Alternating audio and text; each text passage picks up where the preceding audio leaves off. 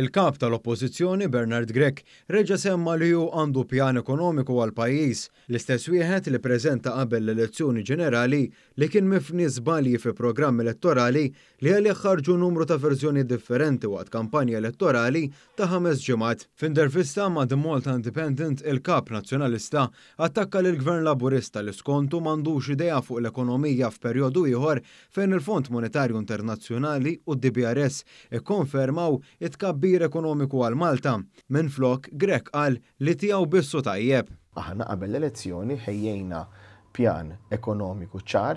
F'intervista ta' madwar nofs siegħa mad-Deputat Editur tal-Independent, Kevin Schembri Orland, il-Kap Nazzjonalista reġa' semma l-pjan ekonomiku tiegħu tal-programm elettorali għal darb'oħra. U allura huwa pjan ekonomiku li jagħmel sens.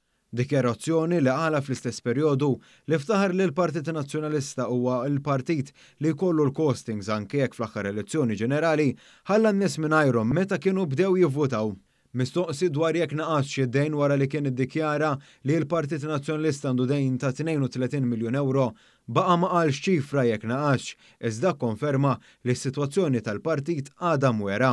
Fadlilna x'nagħmlu, għadni m'iniex kuntent. Huwa baqa' indeċiż fuq il-futur tiegħu, b'sieq 'l hemm u sieq 'l hawn, iżda b'battuti ċari lejn Roberta Metsola, Fl-istess jum li ġiet żvelata storja dwar l-istil ta' ħajja ekstravaganti tagħha, Bernard Grech kompla jibgħat messaġġ li kull min kellu jiġi, missu ġie u issa hu l-Kap. Ma jiena nibqa' ffukat u qiegħed iffukat biex inkompli naħdem bħala Kap tal-Partit.